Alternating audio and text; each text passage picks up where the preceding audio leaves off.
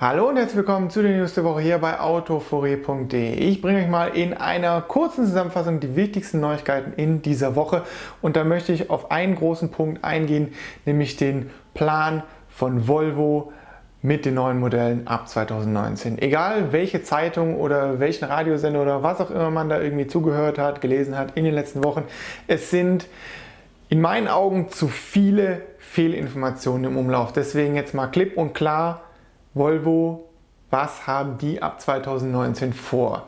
Der CEO Hakan Samuelsen hat im letzten Wochenabschnitt etwas publiziert und viele haben das total falsch aufgenommen bzw. total falsch wiedergegeben. Und jetzt offiziell der Plan ist, Volvo wird ab 2019 einen Elektrifizierungsplan ansetzen.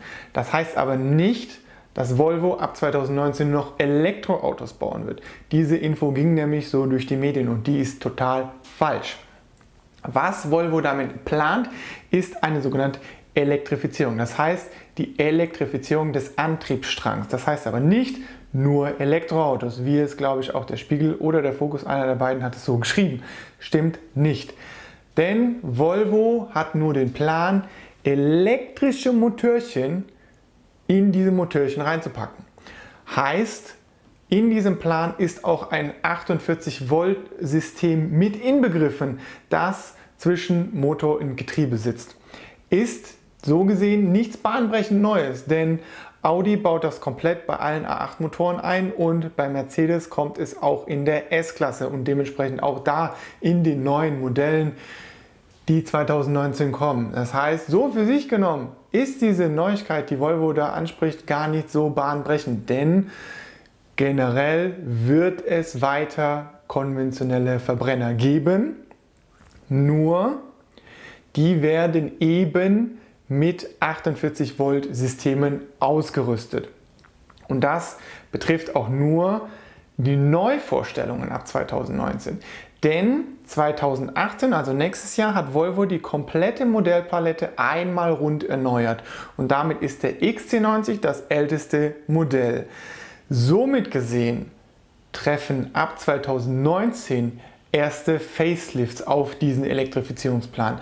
Das heißt aber nicht, dass man beispielsweise einen V60 nicht mehr mit normalen Benziner bekommen. Denn, denn der wird erst nächstes Jahr komplett neu gemacht. Und dann bekommt er vielleicht 2020 oder 2021 diesen Elektrifizierungsplan mit.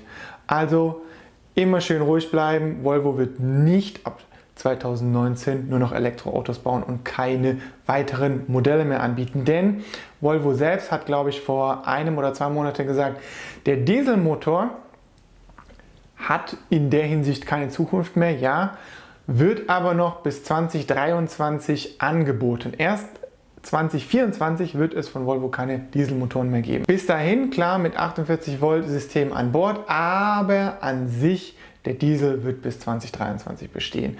Und ich hoffe, es ist jetzt einigermaßen zusammengefasst, was Volvo ab 2019 vorhat. Und ich hoffe, Ihr versteht, dass einiges, was da irgendwie publiziert wurde, kompletter Müll ist. Noch kurz zum Thema Müll, was man da nämlich komplett rausgelassen hat. Man hat sich nämlich nur auf irgendwelche Thesen gestürzt.